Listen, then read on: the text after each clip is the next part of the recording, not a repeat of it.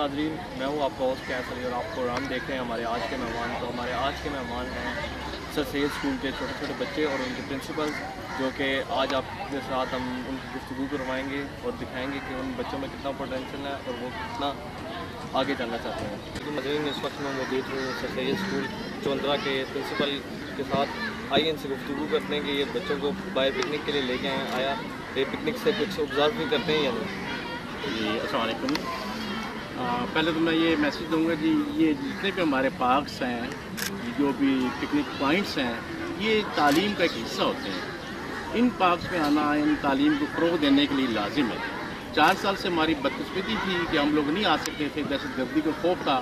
اب ہم شکر گزار ہیں اپنے پاک آرمی کے کہ انہوں نے ایسا کوئی بندوبست کیا، ان کا کل کما کیا۔ تو اب ہم اس قابل ہوئے ہیں کہ اپنے بچوں کو ایسی جگہوں پر لے کے آئیں تاکہ ان کے تعلیم کے ساتھ تفریح بھی ہو اور تعلیم بھی ہو۔ تو سر اس محبت کو برقرار رکھنے کے لیے تو ہمیں مزید محنت کرنی پڑے گی۔ اور آگے آپ کا کیا پروگرام ہے ایٹ کے بعد نائن ٹین کو بھی آپ کو پروموٹ کریں جی میں نے بالکل اپلائی کر رکھا ہے۔ گورنمنٹ سے پرمیشن کی ہمیں ضرورت ہے۔ تو چھ ماہ ہو گئے ہیں ہم نے اپنا کیس سبمٹ کر دیا ہے۔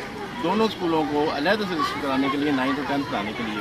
اب جیسی پرمیشن ملتی ہے انشاءاللہ ہم اپنی کلاس اس گاؤں کا میں نے حال تو دیکھا ہے جس آپ بتا رہے ہیں کہ تھرٹی ون جو ولیج ہیں، وہ آپ کے پاس آتے ہیں پڑھنے کے لیے ان کے بچے۔ تو آپ مجھے یہ بتائیں کہ تھرٹی ون ولیج ہیں نائن ٹین کا نظام اتنا اچھا نہیں ہے، سوائے آپ کے اسکول کے، میں نے آپ گورنمنٹ اسکول بھی دیکھا ہے، جس میں اتنا اچھا تعلیم کا معیار نہیں ہے، اس میں سے بچے آپ کے اسکول میں جا رہے ہیں۔ تو سر، آپ کس جگہ دیکھتے ہیں کہ حکومت پنجاب سے آپ کیا اپیل کرتے ہیں کہ نائن ٹین کا معیار بھی اس لیول تک ہونا چاہیے؟ لیکن یہ بہت ضروری ہے۔ لیکن بدقسمتی ہماری کیا ہے کہ میں کہتا ہوں کہ اگر اس قوم کو سنوارنا ہے تو ہم ٹیچر سنوار سکتے ہیں۔ اور کوئی ڈپارٹمنٹ نہیں سنوار سکتا۔ ٹیچر آج اگر اپنی اصلاح کر لیں، ہر ٹیچر عید کر لے، میں نے اس قوم کو بنانا ہے تو ہم ایک قوم بن سکتے ہیں۔ بہت ضروری ہے ٹیچر کو قوم بنانا۔ دیکھیں، استاد ہی انسان کو انسان بناتا ہے، اصل شکل استاد ہی دیتا ہے۔ آج کل کے جو استاد ہیں، وہ بھی توجہ نہیں دیتے خاص۔ لیکن آپ کے اسکول کا کافی اچھا معیار دیکھا ہے۔ ایک بیکورڈ علاقے میں رہ کے تو اچھے اچھا فیل ہوتا ہے۔ جی الحمدللہ، یہ میں کہتا ہوں کہ یہ ہماری کوشش ہے لیکن اس سے پہلے اللہ تعالیٰ کی ایک توفیق ہے۔ ہم شکر گزار ہیں اللہ کے کہ اللہ نے ہمیں توفیق دی ہے۔ اور ماشاء اللہ، جتنے ہمارے ٹیچر موجود ہیں، ایک ٹیچر میرے پاس ایسے بھی ہیں، یہاں موجود ہیں، وہ چھبیس سال سے اس ادارے سے وابستہ ہیں۔ ہم اگر چھبیس سال سے کام کر رہے ہیں تو ایک ٹیچر بھی ہمارے ساتھ چھبیس سال سے ہیں۔ اور آٹھ نو دس سال تو عام ہو گئے ہمارے ٹیچر ہمارے ساتھ۔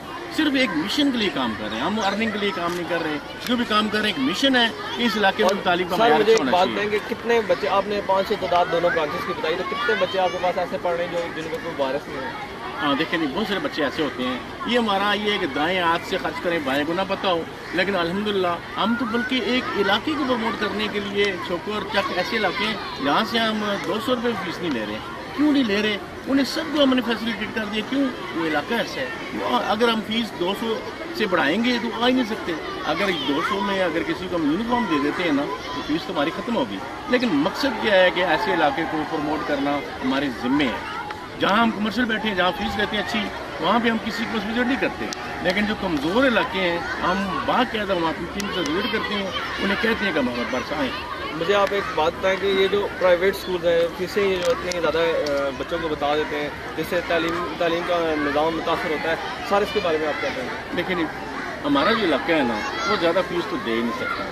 شہر جیسی فیس تو نہیں دے سکتا۔ پھر ہماری کوشش ہے کہ وہاں رہتے ہوئے وہی فیس ان سے لی جائے جو وہ افورڈ کر سکتے ہیں۔